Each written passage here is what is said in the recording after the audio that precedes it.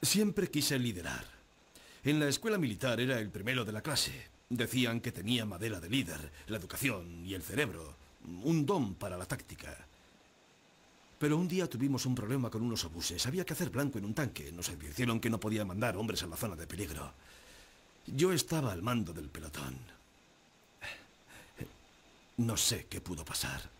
Empezaron a disparar y yo debía replegar a mis hombres, pero pasó algo dentro, algo dentro de mí.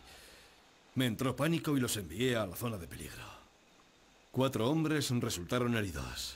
A uno le amputaron una pierna. Me dieron otra oportunidad, pero volví a fallar, volví a fracasar. Se dieron cuenta de lo que yo ya sabía.